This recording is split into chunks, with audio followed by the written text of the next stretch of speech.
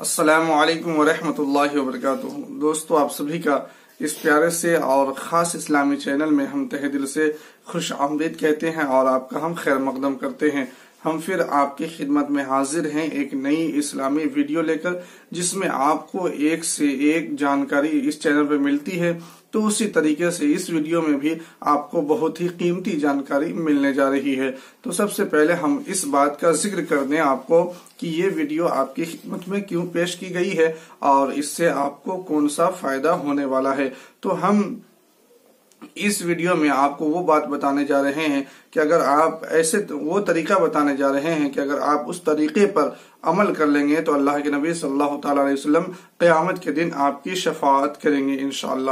تو اب وہ کون سا طریقہ ہے؟ ہم حدیث کے حوالے سے وہ طریقہ ہم آپ کی خدمت میں پیش کر رہے ہیں۔ آپ ضرور اس پہ عمل کریں۔ تو سنیے۔ حضرت سیدنا ابو دردا جو بہت مشہور صحابی گزرے ہیں، ان سے روایت ہے کہ ہمارے نبی صلی اللہ تعالی علیہ وسلم نے ارشاد فرمایا۔ کیا ارشاد فرمایا؟ کہ جس نے کہ اگر کسی انسان نے بھی مجھ پر صبح اور شام دس دس مرتبہ دروش شریف پڑھا، وہ قیامت کے دن میری شفاعت میری شفاعت کو پائے گا۔ سبحان اللہ۔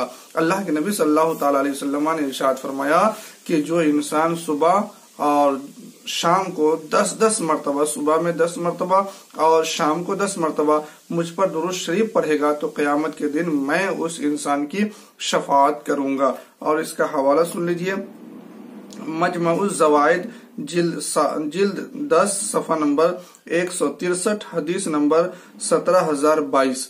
تو دوستو، بہت ہی خاص عمل ہم نے آپ کی خدمت میں پیش کیا ہے۔ یہ بہت ہی کام آنے والا طریقہ ہے، عمل ہے۔ آپ ضرور اس پہ عمل کریں۔ اور یہ عمل آپ کو پسند آیا ہو تو ضرور اس ویڈیو کو آپ لائک کریں، شیئر کریں۔ اور اس چینل کو سبسکرائب کرنا بالکل ہی نہ بھولیں۔ ہم ملتے ہیں اگلی ویڈیو میں۔ جب تک کے لیے السلام علیکم ورحمۃ اللہ وبرکاتہ۔ خدا حافظ۔